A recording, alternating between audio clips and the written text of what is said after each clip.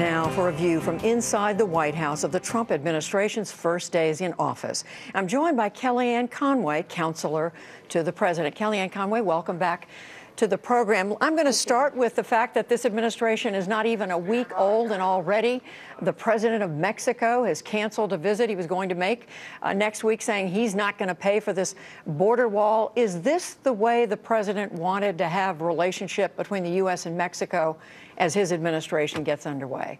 As President Trump said today in Philadelphia when he addressed the House Senate Republican conference at their retreat, Judy, it was a mutual decision to postpone this trip. And I think that when these two leaders are ready to sit down and talk about a wide range of issues, they will do that. But let's look at the rest of the week. I mean, this has been a pretty remarkable week in just four work days.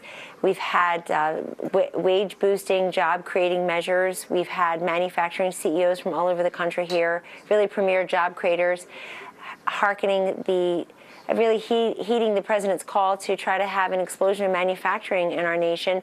And then on the very same day, we had labor union leaders, along with laborers themselves here at the White House, talking about what it means to them to be a carpenter, a pipe fitter, a plumber a steel worker like the many men I grew up with um, in South Jersey outside of Philadelphia. And they, they said that they had never been invited to the White House before, Democratic or Republican. They felt so included that they're part of the national conversation. The president has issued executive orders withdrawing from TPP so that we have bilateral trade agreements in the future that benefit the United States and its workers and its allies and its interests. So it's been a very busy week. We're very happy to have our first foreign leader tomorrow, Prime Minister uh, Theresa May here meeting with President Trump. Well, Kellyanne, let me, if I may yeah, interrupt. We're very happy I, about that. Yeah, I do want to ask you about some of these things, but but sticking with the Mexico story, because President of Mexico said it was his decision not to come. But what I want to ask you about is the, the border wall and paying for it. You had the White House press secretary tell reporters today that it was going to be paid for with a 20% tax imposed on Mexican goods coming into the U.S. Now, later, the White House said that was just one idea. That's Which, right. What is it? Which is it? That's right. That is one of the many methods by which to pay for the wall. It is one proposal on the table. Certainly, there are others. And Judy, when you think of the price tag for this wall, which will be a physical wall constructed on the southern border, let's contrast that to the billions and billions that we spend um, on benefits for and accommodating illegal immigrants. You know, we this country spends billions of dollars protecting the borders of other countries around the world. It's high time we start protecting our own. We're a sovereign nation, and as President Trump has said all along, made a centerpiece of his campaign from day one, we have to stop the flow of people and drugs over our borders. What he also did by way of these executive orders this week, in terms of building the wall, was he has expanded the tools and the resources that our law enforcement officials and our brave men and women who are protecting that border, and we, they need tools and resources, and they should be respected. The detention areas will be larger and to accommodate those and stop this catch and release, stop this sanctuary cities yeah, funding. If I can just interrupt, because, and I hate to do that, but I, I have a number of things I want to ask you about. We did report on all that last night. But the other thing the president did yesterday, in addition to uh, making the announcement you just dis discussed, is he talked about the sanctuary cities, so-called sanctuary cities, where undocumented immigrants uh, are given a, a different, um, a fairer treatment in the eyes of many. Today, we've seen 100 American mayors say they are not going to go along with what the president said. With that kind of pushback, how is the president going to force these mayors who are saying this is an inhumane way to treat people who are here in this country as visitors? This issue of sanctuary cities goes to the heart of how Donald Trump himself has changed the whole way many Americans look at illegal immigration. For years, the question of fairness in illegal immigration went to one issue what's fair to the illegal immigrant?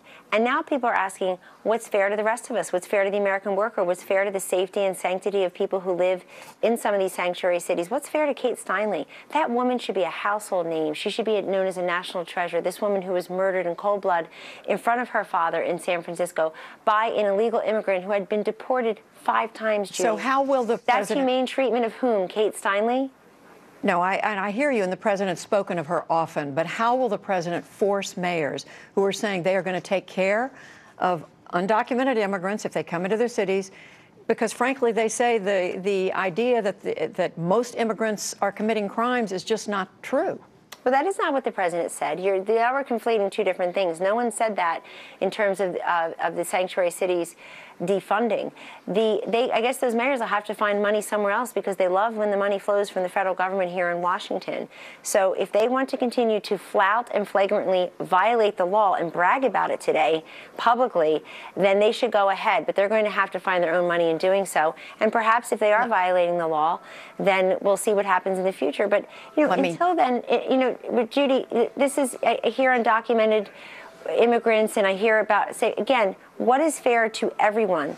The people, the legal people, the American citizens who live there, our law enforcement who feels like they don't have all the resources and tools they need, um, and then of course our our employment base where people are saying I'm people gonna, are tired of hearing that uh, you know. I'm going to interrupt you again. The jobs Americans don't want to do. Apologize for continuing to interrupt, but I do want to move on. Syria. The president said in an interview yesterday he wants to create safe zones for the people living in Syria. Wouldn't this require U.S. troops? And has he discussed it with uh, the senior national security members of his administration? He has discussed Syria in that regard with his uh, national security team, but his national security intelligence teams are being still being formed, as you know.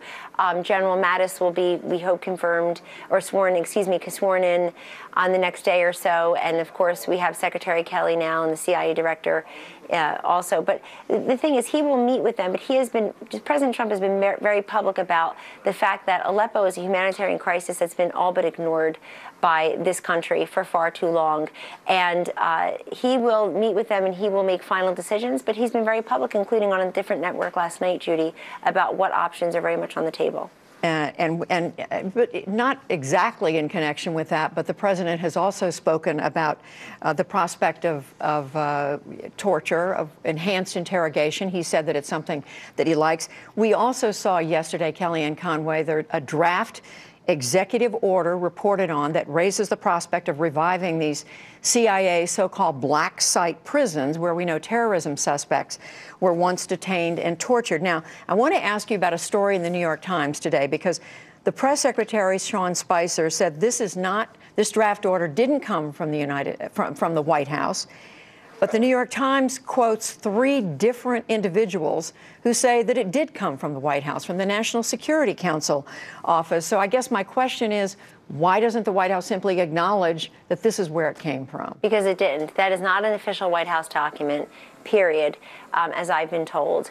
And uh, if it came from the NSC, if it came from others, you know, who are leaking documents. It certainly is not. That is not a White House document that has been discussed internally. So what the press secretary has said is true uh, as far as I've been briefed. Well, both. Um, on, on the broader issue of torture, though, it's important because I think you said that the president said he likes it. What he said is that he's been informed by people very recently that it is a possible a possibility that works.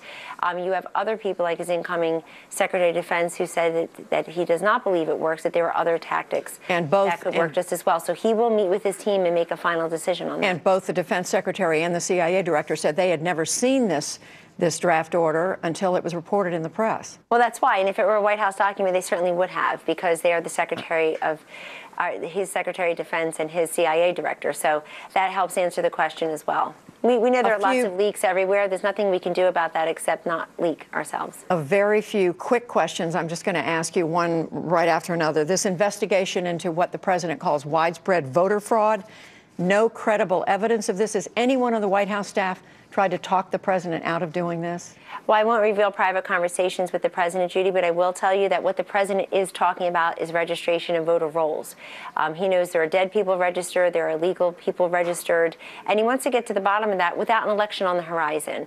Usually people get all exercised about electoral reform after something goes wrong or ballot integrity when we're about to have an election. So it's great that right after a successful election that he had, unexpected to most in the media, that he is looking at ballot integrity, one person, one vote, really the bedrock of our, of our democracy. And that's what he's talking but about. I've but, discussed this with him. But if there's no today. Again, pardon me, if there's no evidence of widespread voter fraud, couldn't this end up just like President Trump's longtime claim that President Obama was born outside the United States. No, I, I can't imagine why that would ever be raised um, on the same plane. But let me say this: was was the, were those same, word, same words used by anyone to describe Jill Stein and her fantasy of a recount based on quote voter fraud that she detected in Wisconsin and Michigan that ended up getting her millions of dollars in taxpayer taxpayer dollars and a lot of platform by the media perhaps even on your network. I mean, somehow that was a great idea by Jill Stein uh, for 70,000 votes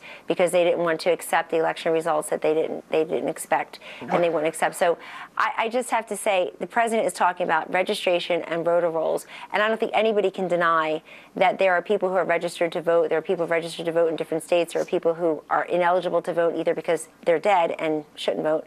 Um, You mentioned they the- are illegal and shouldn't be registered to vote. You mentioned the media. We know the president has been engaged in, I don't know of any other way to put it than a long running uh, battle with the media, has been very critical of much, if not most, of the, of the news media.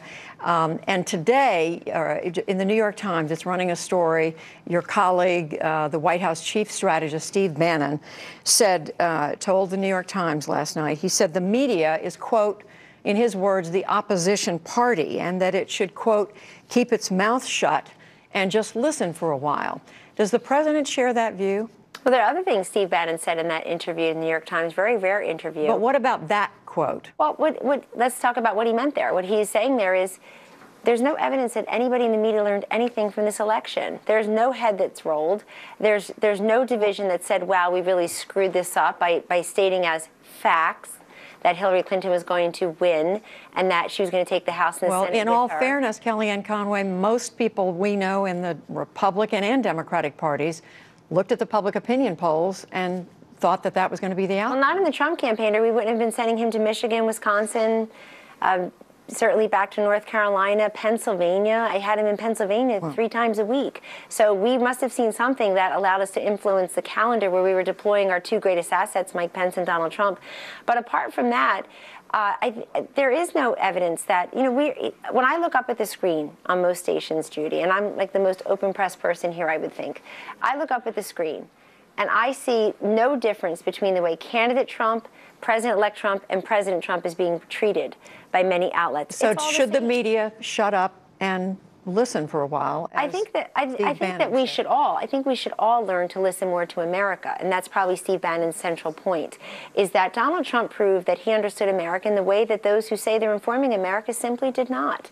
And it really takes listening. I mean, I was a professional pollster for 28 years. My job was to listen to people, and and take advice from them. Some of the best advice and insights I've ever received in my professional life have come from most of them have come from people by listening to them, by getting out of the bubble, by getting out of you know our our coastal media centers. And this is just said with you know a great deal of i've tried on many different networks now. It doesn't get covered. Um, people cherry pick one or two words but i've tried many times now on different networks to say i would like us to have an open relationship and a fair and free press. But with a free press comes responsibility. And that responsibility comes in allowing us to, to ask the questions like what are we missing about america? As i like to say we the Trump And- administration and the media are have to co-parent this country, have joint custody of the country for the next eight years probably. Let's find a way to mutually coexist. But calling the president names, going on Twitter and saying snarky things about him, the president of the United States, that would never pass editorial muster on a network or in or in the papers, really should be rethought. Well, we're, it's a big, big conversation, and it's early in the administration, and I know we're going to have opportunities to come back I'm happy to to have it with you, Judy. Thank you. Kellyanne Conway, thanks.